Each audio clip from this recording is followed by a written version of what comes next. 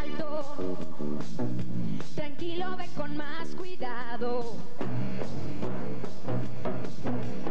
Alto, ¿por qué te pones tan pesado?